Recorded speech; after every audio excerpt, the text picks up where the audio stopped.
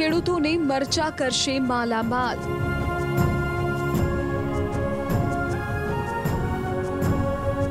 ગત વર્ષ કરતા વીસ ટકા આવક ઘટી. વધી શકે છે મરચાના ભાવ.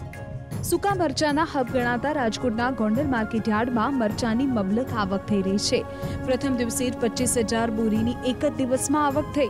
ગત વર્ષની સરખામણીએ મરચાના ભાવમાં તેજી જોવા મળી રહી છે. વીસ કિલો મરચાના બે હજારથી લઈને પચીસો રૂપિયા મળી રહ્યા છે. ગોંડલ માર્કેટ યાર્ડમાં મરચાની અલગ અલગ વેરાયટી આવી રહી છે. રેશમપટ્ટી મરચાની પણ સારી આવક થઈ રહી છે. ગોંડલ માર્કેટ યાર્ડમાં અત્યાર સુધીમાં એક લાખથી વધારે બોરીઓનું વેચાણ થયું છે. ગોંડલના પ્રખ્યાત મરચા ખરીદવા ગુજરાત બહારના અન્ય રાજ્યમાંથી પણ ઘણા વેપારીઓ આવી રહ્યા છે. મરચાની આવક અત્યારે પંદરથી વીસ હજાર બારીની અમે છેલ્લે જ્યારે આવક કરી ત્યારે થયેલી હતી. ગત વર્ષની સાપેક્ષમાં મરચાની આવક આ વર્ષે વીસ ટકા જેટલી ઓછી થઈ રહેલ છે.